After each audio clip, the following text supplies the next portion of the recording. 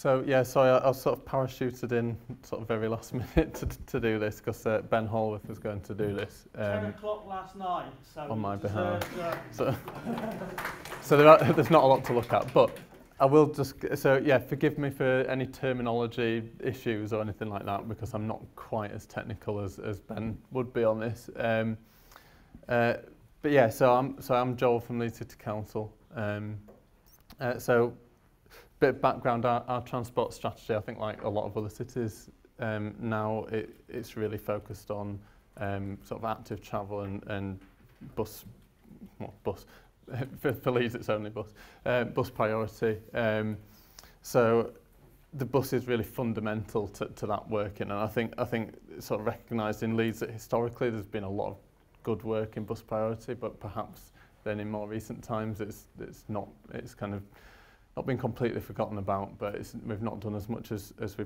probably should. Um, so we're now doing a lot of work around that and have been for the past sort of, I say, three, four, five years. Um, so one of the developments that, that we worked with Swarco and, and Talent on um, was actually introducing the the Arctic T's 031 um, message um, directly into the controller. So so we have a, what we call a data relay unit that, um, that Tony Smith provides for us.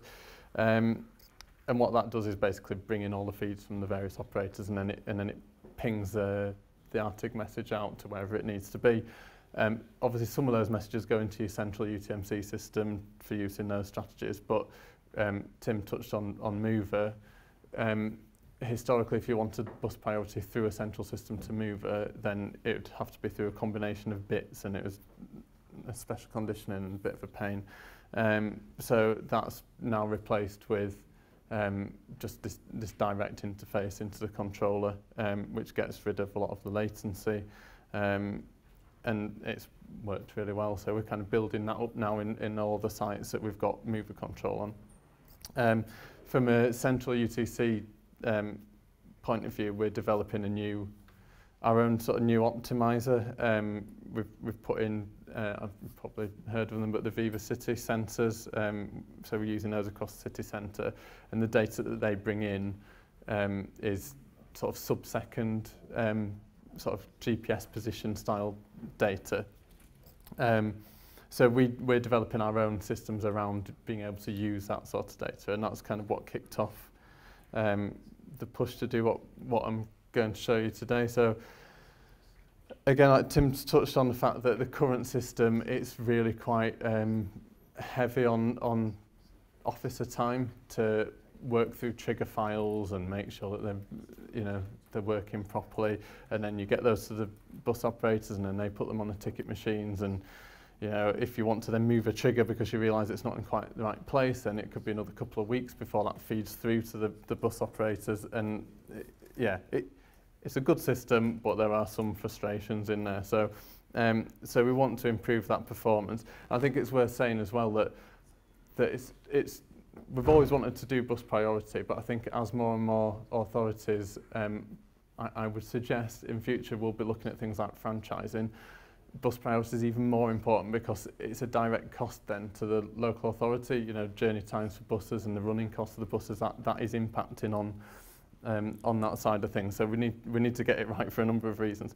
Um, so we've got we've recently then we've been pushing for a while with the bus operators um, in terms of wanting to look at whether we can get rather than the uh, the, the triggers as they stand now where it's like spot detection and you know obviously you get that trigger say 100 meters from the junction and then another one 50 meters wherever you put them.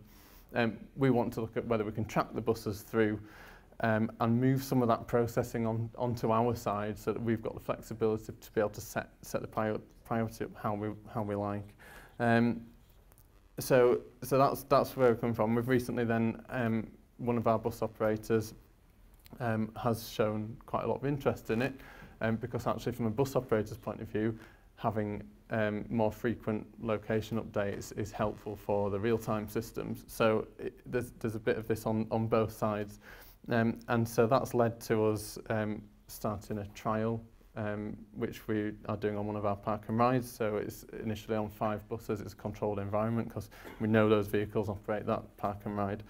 Um, and we are currently waiting for the feed to be set up. So the kit's on the buses now and we're waiting for the feed. Um, but I will show you some data from from kind of a data dump from another very similar um, bit of work that was done in Bended in the northeast, so you can see the sort of data we're talking about. Um, so just on the trigger side, hopefully you can see that. Um, so this is this is look at the, the existing system, looking at the existing system, and so the different operators have kind of set, set their ticket machines, their triggers up uh, with different radiuses on it because they, they put it in as a kind of a, a circular point um, on a map. And I mean, it, you know, obviously we're talking about trying to do some fairly fine control of, of signals. Some of the triggers that, that we found were set up in, on the on the lead system, not on our system, but um, in the bus operators' ticket machines. Um, 60 metre radius, some I think we're even up at 8 metre radius. This is radius, so I mean, this is a huge area.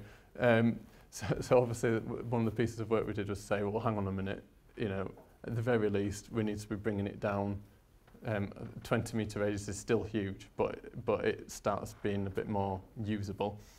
But you can see that then the number of triggers that successfully fire drops off quite a lot when you get to that point, and some of those issues come down to GPS accuracy, and actually some of the, the ETMs, because um, the GPS, GPS antenna, as far as I understand it, is sometimes integrated within the unit, actually the performance is not that brilliant. So another thing is that actually unearthing that allows you to then talk to the bus operators about saying, well, actually, can you can you do a bit of work to put maybe your antennas on, I don't know, on top of the bus, wherever, to get a bit of a better performance. So, um, but I think it all it all kind of pushes towards the fact that it's it's better for us if we have a little bit more visibility of actually the position of the bus because we can see is that accurate enough or not um, and, and work with that. So um, I'll just show you So this is a, just the Stone Park and Ride route um, into Leeds. It's, it's quite a well-protected route for buses, um, but it runs through a number of mover sites and then it runs into um, fixed time signals. Um, so some fixed time signals still in the city centre and then some that are operating on, on VA um, in, in the middle of the city centre at the moment. So we've got a good opportunity to kind of try these things out at, um, on various different types of control. And this is a, a data plot um, from the work that, that Ben looked at in the northeast. So you can see this is second by second data that's coming out of the, the ticket machine. Um, and what, what Ben's just done is to show the sort of traditional circular um, trigger point that's in the sort of light yellow colour. Um, and then his sort of uh, customised um, rectangular trigger point. Um, and, and that's the, the point there is that actually, again, us having flexibility to do, to do a little bit more customization of how we, how we actually um, provide triggers, you can see where, where, the, where the bus, where the GPS is slightly out um, for whatever reason, um, or it doesn't quite follow the, the, the line of the road. If you've got a circular trigger point, your chances of catching that data point within that circle um, are vastly reduced as you, as you go towards the edge of that, whereas if you have a rectangular um, trigger point, you're much more likely to, to, to do that. And, and I think Ben then showed, um, sort of looking across that route, that you can get, I think it was pretty much sort of 100% um, hit rate on the triggers with the rectangular ones. Um, so that, that's just one example of the benefit.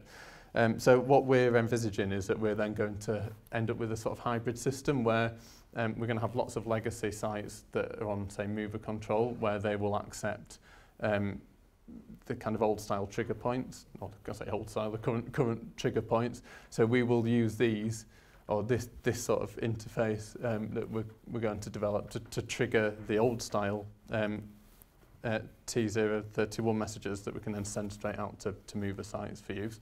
So that'll just act like it does now. Um, but then on some of the city centre stuff where we're developing our own optimizer, we'll actually be able to feed the data points directly into the system um, in the same way that we're doing with the sensor data um, to get to get sort of better control.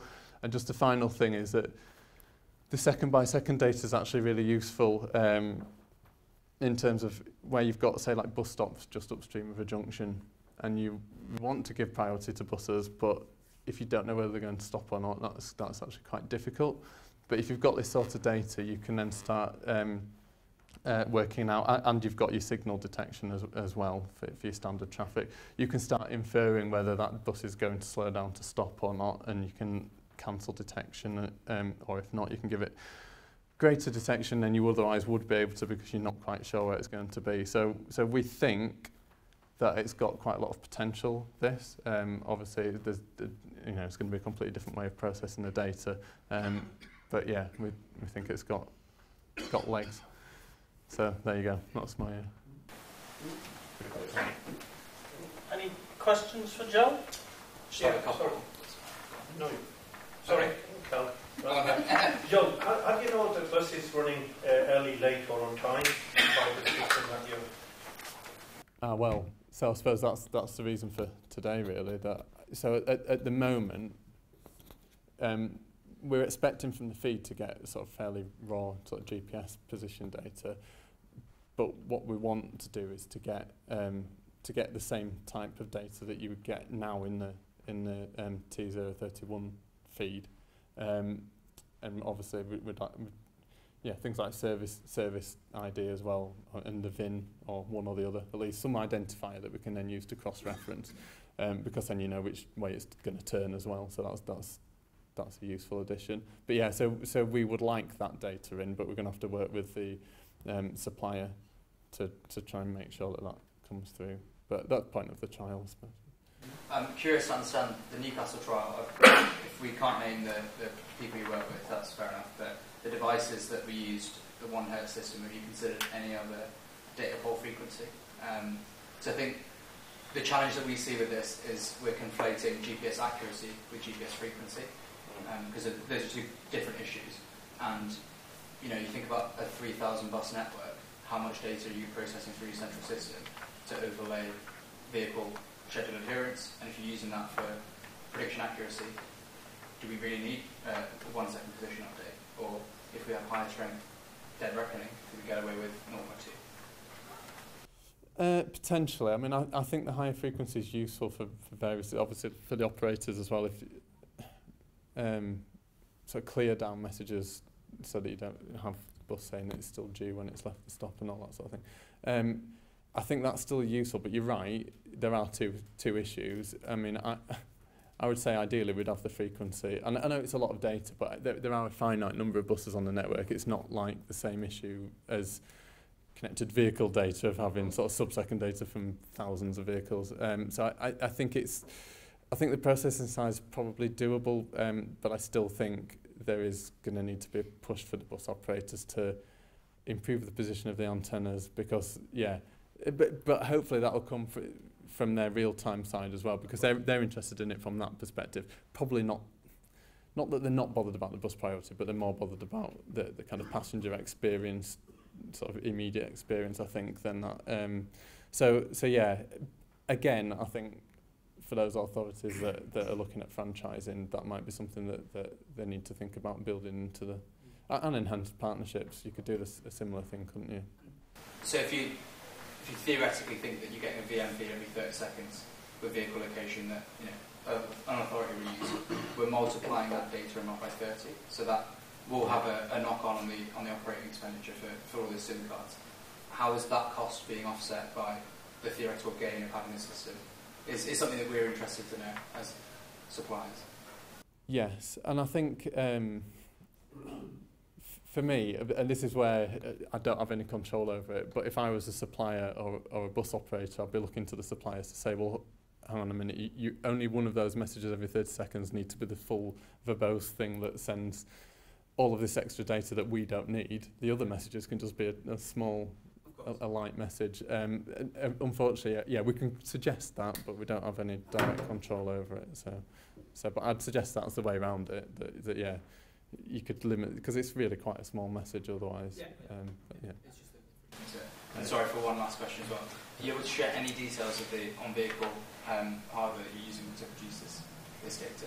So I, I can share it in this room. I don't, I don't know. Um, it, so basically, yeah, the, the operator that we're doing the trial with is First Bus, and the kit is the gateway of its ticketer, Yeah. ticketer kit because they've already got ticketer on on. So it's kind of a little addition to that. So And if that's the same gateway device for the Northeast, but a different operator. yes, that's my understanding. Yeah. Yeah. And are you're looking to you know, go into the market and say this is a, a new system that's coming through? Because there's loads of buses with very old sheets that will need new hardware to make this work. Yeah, so in West Yorkshire, the vast majority of the operators, apart from small ones, all use the ticketer kit at the moment. So I think I think their kit is relatively up to date, um, but they obviously all need this addition if they're going to expand it across the fleet. Um, yeah, again, I think if if West Yorkshire went down the route of franchising, or it might be, it might come in one of the enhanced partnerships, it may come as one of the future schemes we've got in the pipeline. Um, it might be something that you build into that to say actually if you you know as part of operating if you need to invest in that kit. The small operators I'd say is a problem because for them it's a They don't even have a VM feed into BODS. yeah yeah it's, it's, but but again you could potentially maybe provide that somehow through the franchising but yeah. Thank you. Good word. Um, yeah, you mentioned about um, the fact that um, some manufacturers, including Swap and ourselves, have um, integrated the RTIG message passing in, in the outstation controller.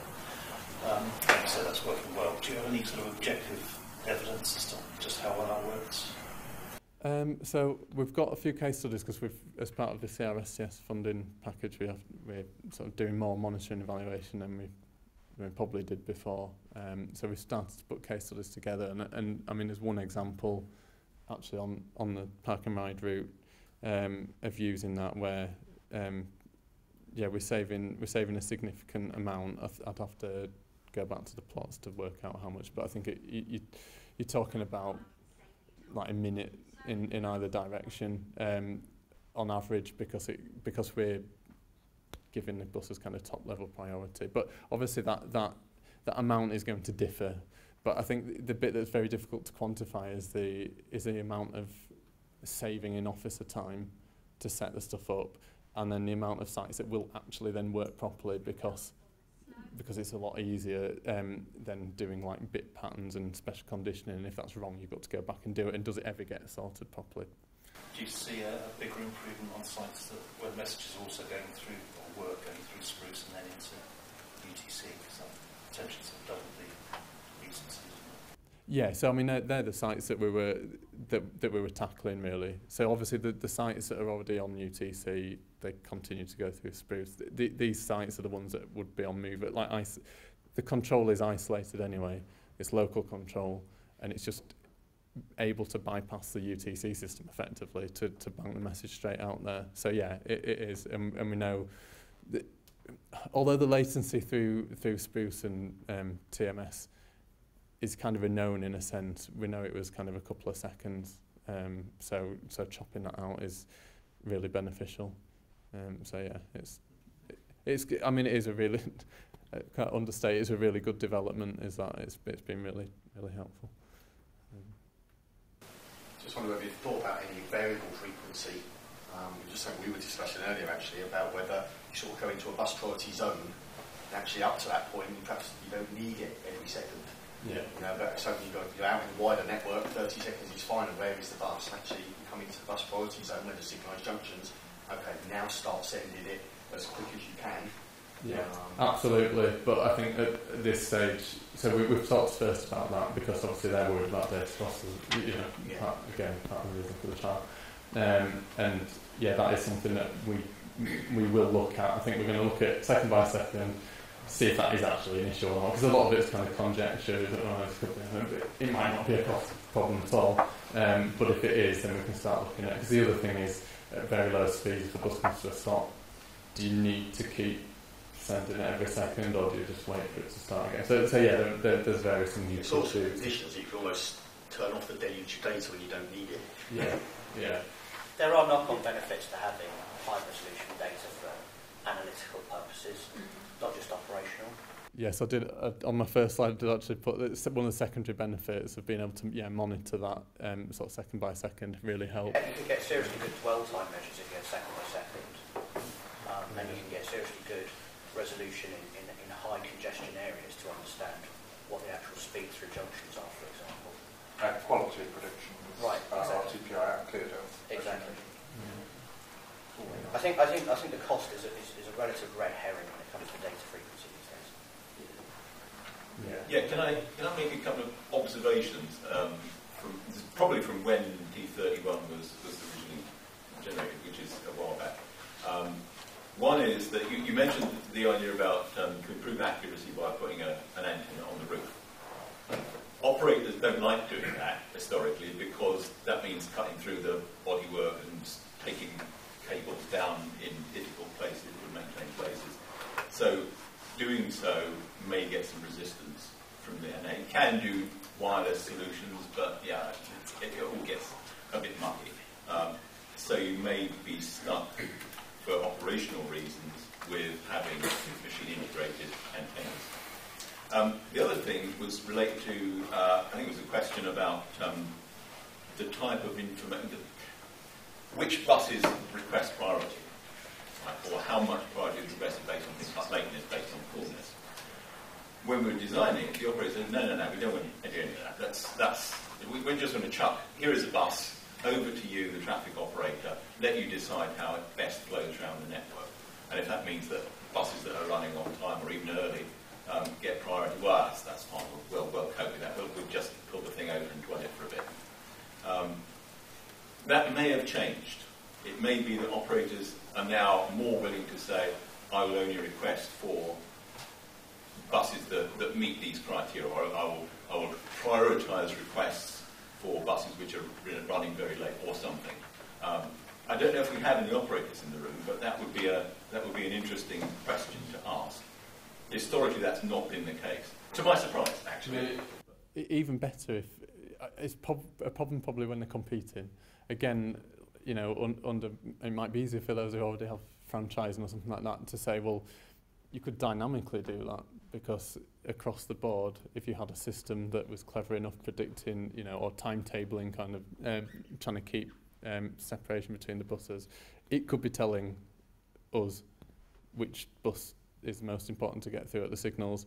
Um, but yeah, I, I mean, certainly so far in Leeds, we, we just bang every bus through the same on the basis that it, probably helps the operators actually know that they all get treated the same and, and help with the timetabling. But I think it depends, yeah, what type of route it is, because some of them they're looking at um, headways, some of them they're looking at Yeah, services and all that kind of stuff. But at least one of Tim's uh, architectures on the on the screen earlier allows for that quite straightforwardly. If you're running the, the vehicle feeds through an RTPI system and then into the UTC, the RTPI system can decide whether it wants to request priority for that vehicle or not, subject to operator's agree.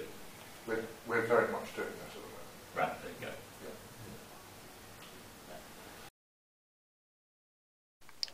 Thank you for watching this RTIG webinar. To find out more about RTIG and our work, then please visit our website at rtig.org.uk. Thank you.